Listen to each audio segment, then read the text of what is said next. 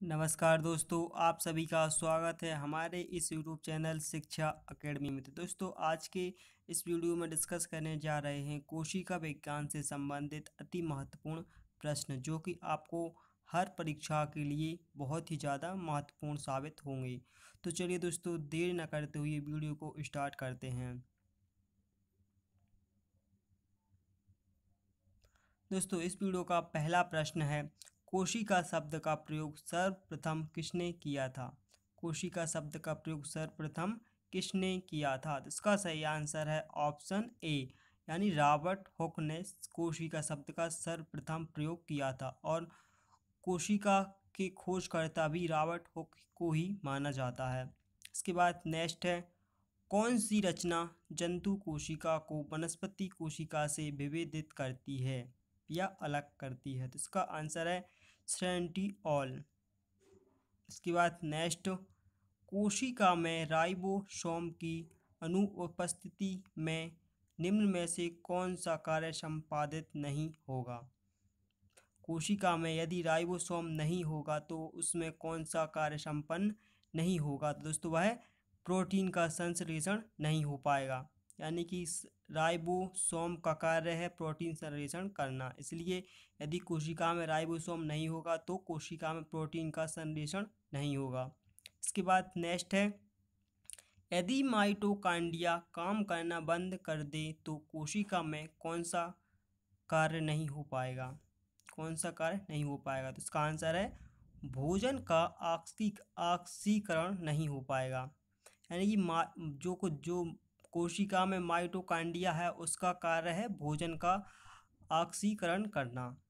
इसके बाद नेक्स्ट है, कोशिका का ऊर्जा ग्रह किसे कहा जाता है? कोशिका का ऊर्जा ग्रह किसे कहा जाता है? तो इसका आंसर है माइडोकांडिया को कहा जाता है, ऊर्जा ग्रह। इसके बाद नेक्स्ट है, निम्नलिखित में से कौन सा सबसे बड़ा कोशिकांक है? सबसे बड़ा कोशिकांक इसका आंसर है दोस्तों प्लास्टिड प्लास्टिड सबसे बड़ा कोशिकांक है। इसके बाद नेक्स्ट, कोशिका में प्रोटीन संश्लेषण कहाँ पर होता है? कहाँ होता है? इसका आंसर है दोस्तों, यह राइबोसोम में होता है। प्रोटीन का संश्लेषण कहाँ पर? राइबोसोम में होता है। इसके बाद नेक्स्ट पादक कोशिकाओं का सबसे बाहरी आवरण क्या कहलाता है? या सबसे बाहरी हिस्सा होता है जो उसको क्या कहा जाता है? तो दोस्तों उसको कोशिका भित्ति कहा जाता है। इसके बाद नेक्स्ट, कोशिका को एक निश्चित रूप प्रदान करती है। कोशिका को एक निश्चित रूप प्रदान करती है। उसका आंसर दोस्तों, कोशिका भित्ति, एक कोशिका को निश्चित रूप प्रदान करती है।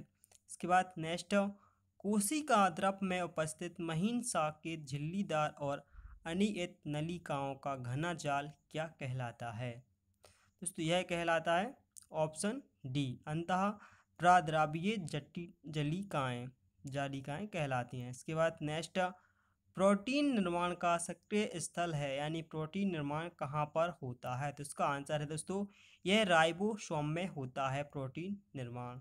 इसके बाद नेक्स्ट, कौन सा कोशिकांग केवल और केवल पादक कोशिका में पाया जाता है और जंतु कोशिका में नहीं पाया जाता? तो वह है दोस्तों, यह सभी, यानी कि जंतु कोशिका में कोशिका भित्ति लवक और रिक्तिकाएँ नहीं पाई जाती। यह केवल और केवल पादक कोशिकाओं में पाई जाती हैं।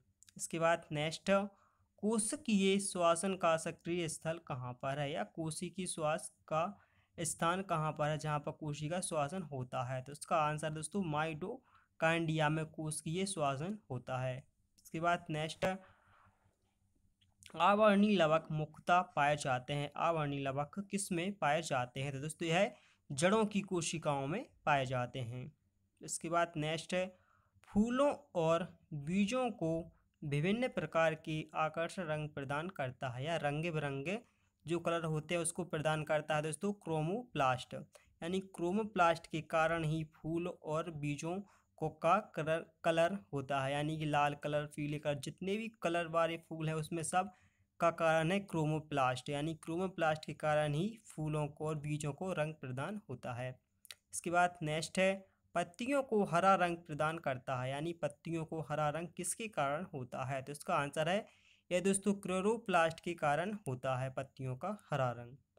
इसके बाद नेक्स्ट है, कोशिका की आत्महत्या की थैली किसको कहा जाता है? कोशिका की आत्महत्या की थैली किसको कहा जाता है? दोस्तों इसका आंसर है, यह राइसोसोम को कहा जाता है कोशिका की आत्महत्या की थैली।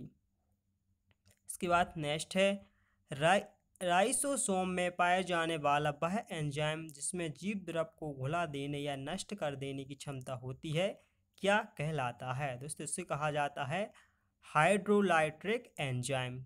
क्या कहा जाता है? हाइड्रोलाइट्रिक एंजाइम कहा जाता है। इसके बाद नेक्स्ट है, अस्सी परसेंट से अधिक सेल कोशिका में पाया जाने वाला पदार्थ कौन सा है? या आप यहाँ भूल सकते हैं कि कोशिका में अस्सी परसेंट कौन सा पदार्थ पाया जाता है? तो दोस्तों, इसका आंसर है जल यानी कि जल पदार्थ कोशिका में लगभग अस्सी परसेंट पाया जाता है।